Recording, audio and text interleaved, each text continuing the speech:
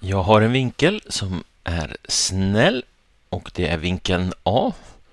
Och då är det så här att en vinkel A är snäll om både sinus för A och kosinus för A är ett rationellt tal, det vill säga kan skrivas som ett bråk. Bevisa eller motbevisa påståendet om A är snäll så är supplementvinkeln snäll. Och då har han skrivit här uppe i hörnet supplementvinklar är vinklar vars summa är 180 grader. En vinkel sägs vara en supplementvinkel till en annan given vinkel om vinklarnas summa är 180 grader. Vinklarna behöver inte vara intilliggande, det kan till exempel vara hörn i ett parallellogram. Okej, okay, då kör vi här då. Så om jag har vinkeln A här. Vi ska se här. Jag har en vinkel som är A. Då måste supplementvinkeln... Oj! Vad hände där? Supplementvinkeln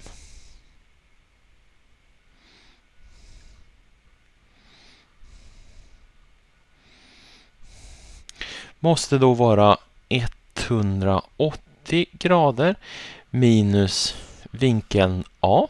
Sådär. Och vi vet det att vi vet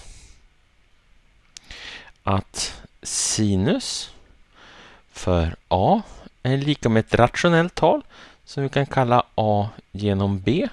Och vi vet att kosinus för eh, A är lika med C genom D. Sådär va.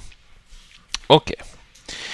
Då sätter vi så här då att vad händer med supplementvinkeln? Så vi sätter sinus 180 grader minus vinkeln A.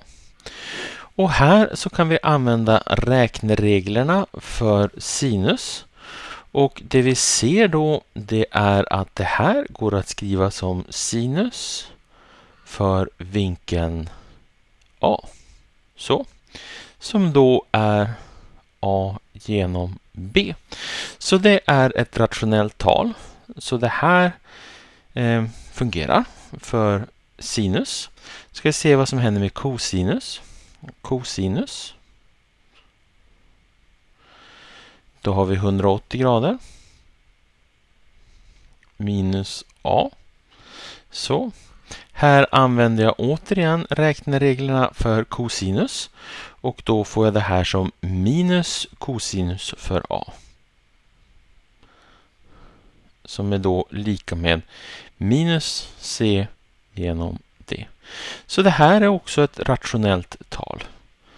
Det vill säga om vinkeln A är snäll så är supplementvinkeln.